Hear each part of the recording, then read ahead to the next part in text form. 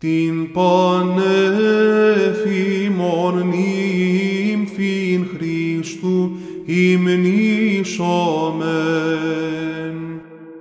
Εκατερίναν την Θείαν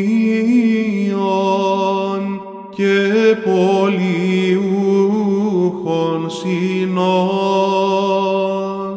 την βοήθειαν ημών και αντίληψην,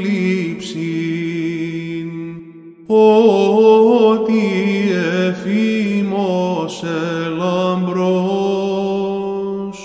τους κομψούς των ασεβών του πνεύματος τη μαχαίρα.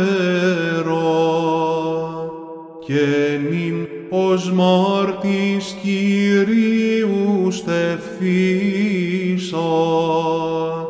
ετείτε πάση